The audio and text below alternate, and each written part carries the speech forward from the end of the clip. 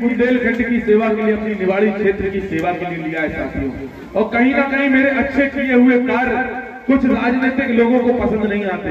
मैं आपको बताऊँ, अपने निवाड़ी के एक ऐसे नेता हैं जिनके कुछ प्रयासों से, जिनकी ओछी मानसिकता के कारण उन्होंने इतने इन्होंने कार्य निवाड़ी में किए हैं, आप सबसे छुपे मेरे घर को सरकारी करा दिया, मेरे फार्म हाउस को सरकारी करा दिया, मेरे वाटर पार्क को सरकारी करा दिया, मेरी कृषि भूमि सरकारी करा दी।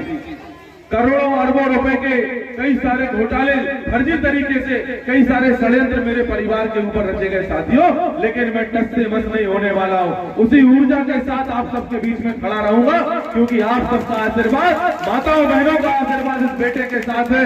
हज़ारों लाखों युवाओं का साथ इस अमित राय के साथ है। और बुज़ुर्गों का मार्गदर्शन और आशीर्वाद मेरे साथ है, साथियों, में झुकने वालों में से नहीं हूँ।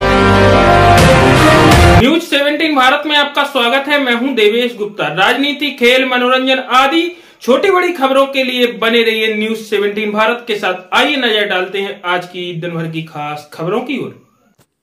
निवाड़ी में राजनीतिक घमासान लगातार जारी। प्रदेश में विधानसभा चुनाव है और अब लगातार क्षेत्र में नेताजी सक्रिय दिखने लगे हैं। चाहे वह कोई धार्मिक कार्यक्रम, सामाजिक कार्यक्रम हो, अब नेता पहुंचकर जमकर भाषण देते हैं। उसी प्रकार निवाड़ी बीजेपी जिला पंचायत सदस्य अमित राय धमना पहुँचे, जहाँ उन्होंने व्यासपीठ से आशीर्वाद प्राप्त किया और भागवत कथा में सम्मिलित हुए। साथ ही व्यासपीठ से लोगों को संबोधित करते हुए कहा, निवाड़ी में एक ऐसे छोटी मानसिकता वाले जनप्रतिनिधि हैं जिन्हें आप सब जानते हैं। अमित राय ने बिना नाम लिए कहीं ना कहीं अपनी ही पार्टी के विधायक को सवालों के घेरे में खड़े करते दिखाई दिए। आपको बता दें, भाजपा में बगावत के स्वर भाजपा नेत्री रोशनी यादव के भाजपा छोड़ने के बाद शुरू हुए। लेकिन अब अमित राय के भी भाजपा छोड़ने के कयास लगाए जा रहे हैं।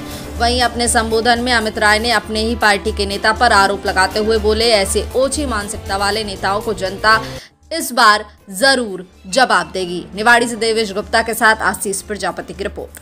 बुंदेलखंड की सेवा के लिए अपनी निवाड़ी क्षेत्र की सेवा के लिए लिया है साथियों। और कहीं ना कहीं मेरे अच्छे किए हुए कार्य कुछ राजनीतिक लोगों को पसंद नहीं आते।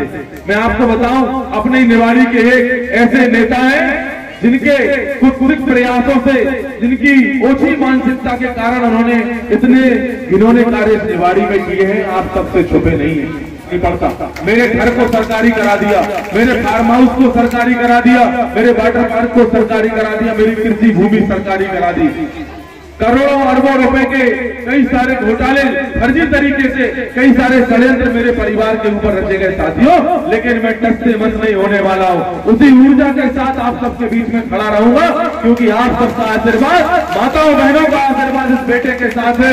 हज़ारों लाखों युवाओं का साथ इस अमित राय के साथ है। और बुज़ुर्गों का मार्गदर्शन और आशीर्वाद मेरे साथ है। साथियों, में झुकने वालों में से नहीं हूँ। कितने भी षड्यंत्र कोई भी रच ले, कितनी भी परेशानियाँ आए, कितनी भी बाधाएँ आएँगी। हनुमान जी महाराज के आशीर्वाद से, राम राजा सरकार के आशीर्वाद से, माँ पीताम्बरा माई के आशीर्वाद से हर एक षडयंत्र को तोड़ते हुए आगे निकलूँगा। और लगभग कई सारे षडयंत्र जो रचे गए, उनमें कई सारी सफलताएँ भी मिली कोई कुछ नहीं बिगाड़ पाया, आपके इस बेटे का ना बिगाड़ पाएगा, क्योंकि आपका आशीर्वाद मेरे साथ है। इतनी सारी संख्या में युवाओं का आशीर्वाद मेरे साथ है, सहयोग मेरे साथ है। कोई फ़र्क नहीं पड़ने वाला, साथियों, हर मुसीबत से हम लड़ेंगे। और ऐसे जो घिनौने षडयंत्र करने वाले नेता इस बार वो कुछ भी कर ले, इस बार निवाड़ी की जनता उनको बख्शने वाली नहीं है। निवाड़ी की जनता उनको माफ़ नहीं करेगी। उनको ईट का जवाब पत्थर से देने का काम निवाड़ी क्षेत्र की जनता करेगी। साथियों षडयंत्रकारियों को मुँह तोड़ जवाब दूँगा।